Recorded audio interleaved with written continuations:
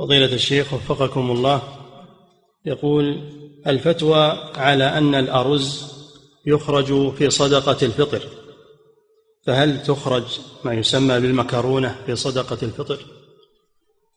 لا المكرونة ما هي بطعام المكرونة من المشتهيات اللي يحطونها شهوة وليست طعاما ولا يقتصرون الناس عليها ولا تغني عن الرز عن البر عن ما تغني.